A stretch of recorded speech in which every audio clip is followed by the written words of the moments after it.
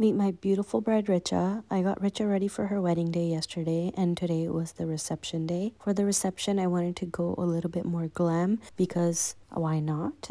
I always say to save the classic looks for the wedding day and for the reception to go a little bit more bolder. So that is exactly what I did over here. First of all, I wanted to make Richa's skin look perfect. So I did some color correcting and I added a lightweight foundation because I knew I would be adding more concealer to brighten up her under eyes. So for the eyes, I started off with a darker base, a cream product, and a powder product. To make her eyes pop, I used glitter to match her sparkly dress. And here's Richa's reaction to her look. She loved it so much. Ooh, so beautiful. Oh my gosh, I'm obsessed. Oh my gosh, so cute. I love it. I love it so much. Richa wanted these baby's breath in her hair. We did some curls. Doesn't she look like a fairy princess?